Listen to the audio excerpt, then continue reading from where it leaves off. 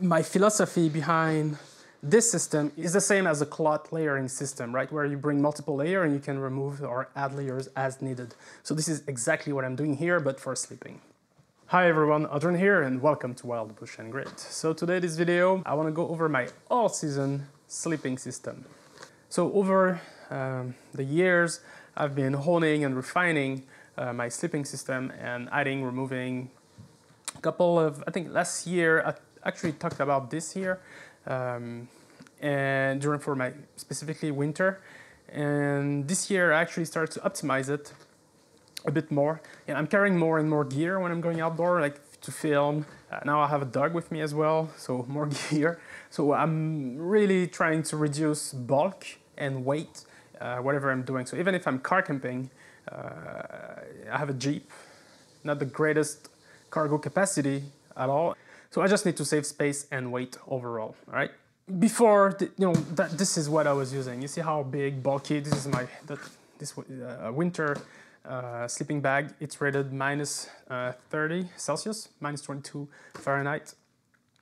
And, you know, the size, also I was carrying this here, this is a mattress, excellent insulation, you know, it's R, no, 11.4 in R value so this video is not against this gear. No, this gear served me well. I just need less in weight and space, okay? The only thing that stayed with me over time is the man, the first layer that I'm carrying. And essentially what this does is it insulates you, your entire platform from the cold ground uh, in winter, but it's also summer. You know, I think summer is a bit underestimated because it's warm. Uh, it's uh, you know during the day you have the heat waves and whatnot, but at night, as soon as the sun goes down and you're sleeping, you'll see how quickly you can actually lose your heat through the um, through the ground if you don't have a proper insulation to begin with, you know, under your sleeping bag. So this is always with me. Uh, for my winter system now, what do I use? So you'll see I have a lot of Snugpak item with me. This is not a sponsored video. This is me buying gear over time. I actually like um, the brand. I think they have good, honest product, reasonably priced. Uh, they're not the cheapest, you know, this is not like Coleman uh, value stuff. If you're looking for Coleman price, don't look into Snugpak. But uh, actually, I think Snugpak is one of the supplier for the British Special Force SAS. I, I think, I'm not sure, I, I, think I read that somewhere, but anyway, I just attest to the quality of their gear. Yet reasonably priced. This is what uh, I'm after. I like their bag. You know, all, most of their bag actually have, have a compression system, so you can pack things, but you can even like tie things down a little bit further to save that cargo space that is, you know, that, that I crave actually. So let's go from the bottom all the way up to the top. So first layer, I'm using this. Second layer is I have to replace the Mondo King. Let me go back here. So to replace this thing, which has an awesome 11.4 R value, I'm using two products here from Snugpak, and you have the uh, Maxi Air Pad and the Air Pad. Let's go over these two quickly. So what I like about this one, this one brings comfort, okay? It has an integrated pump inside. You just open it, you can inflate the mat in a couple of minutes, and it gives you a good, I would say what, five, four to five inch in thickness. So on top of that RidgeRest here, I'm adding um, the Maxi Air Pad from Snugpak. It comes with its own pump.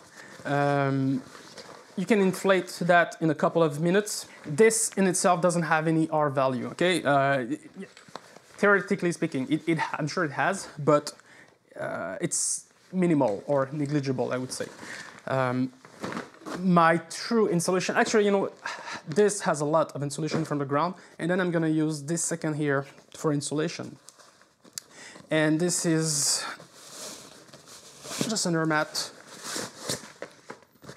which will inflate to about, you know, an inch and a half, two inch top, and provide also comfort, but most, you know, R value. I couldn't find a definitive, uh, I couldn't find a definitive uh, R value out there on your website, like a R for uh, 4R or 5.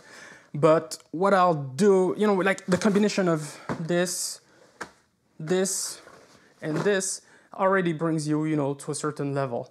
And on top of that, what I like to do is to add a wool blanket. And based on the season, maybe I don't need to bring the wool blanket with me, or maybe I'll just bring this and this with me, okay? And I'll leave this one at home. So uh, we, I can go over spring and summer setup in a minute, but the, my philosophy behind this system is the same as a cloth layering system, right? Where you bring multiple layer and you can remove or add layers as needed. So this is exactly what I'm doing here, but for sleeping. You know, I like to use a wool blanket. This is 90% wool blanket. This is a Rothco wool blanket. You can find similarly. And of course, you know, this works whatever the brand you're using. You can use mix and match, okay? It doesn't need to be Snugpak or whatever. Uh, and for my winter sleeping bag, I'm using the Softie Antarctica. This one is rated minus 30 Celsius or minus 22 Fahrenheit. It has the same insulation as my previous one, this guy here, the Chinook Huntsman. And you can see in height sizes how much cargo space I'm saving.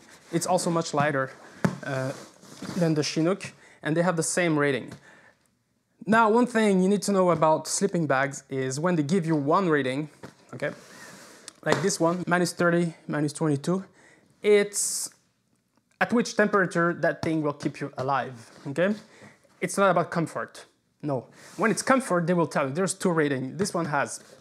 So it goes to minus 30 Celsius, but in terms of comfort, what they say is minus 20.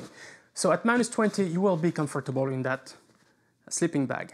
At minus 30, you won't be comfortable, but you will not die as well, okay? How to make it minus 30 comfortable, this is where my layer system, you know, activate, so to speak. I can add an extra blanket, whether it's a wool blanket like I have here, but I also can I also have another blanket here from Snugpak. So you see the size of this blanket fold really nicely, very uh, you know dense as opposed to the wool blanket, which is actually quite heavy and more bulk, right? Yet there's an advantage to the wool. I like redundancy in some items, and a wool blanket has a lot more uses, in my opinion. When wet, wool will retain a lot of its own um, insulation uh, properties, right? Not like uh, some of the uh, synthetic fiber. I did not get these wet, so I'm not sure I cannot speak to what happened to these when they get wet. Now, for from winter to spring, what do I use? Of course, this, this are out. Early in the spring, I will, this always, okay? And I will use the air mat. So I will use one or the other, or maybe the, the two of them, depending. Once they're packed, you see how small they are, so it, it, it's not a big deal, you know, to bring some extra. I like to keep a wool blanket with me at all time, no matter the season. And here I have a small sleeping bag. And this one is comfort to seven, if I'm not mistaken, and low to two degree. Uh, yeah, so low is two, but for comfort it's seven degree at night, which in spring is not uncommon. Okay, so it can fluctuate. So sometime in spring it can go below uh, zero, but this is where you know having multiple layer actually help you increase your comfort. Uh, so just in size and space, you can see, so this is a minus 31 and this is the 2 degrees Celsius in terms of size. Super light, packed easily. The other advantage of having little um, gear, little items like that is when you pack, you actually have more possibilities. You know, when you're packing your bags, you can play Tetris with all these blocks and have like a really nice, uh, densely packed backpack, for example.